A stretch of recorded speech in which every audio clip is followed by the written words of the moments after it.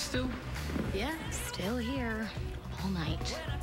Well, we have that VATS this morning. We can push it to tonight if you need sleep. Yes, that would be great. Yeah, what time were you thinking? Oh, actually. Very good. Uh, uh, Dr. DeLuca. Can you come here a minute, please? Um, Dr. Riggs? I'm sorry, I cannot join you on that case tonight because I have plans. Dr. DeLuca. A date. Okay. Whom I've been seeing. We've been seeing each other as a couple, romantically, in romance. So you want to keep the surgery this morning then? Yes, that'll be fine. Okay. All right. I'll see you in there.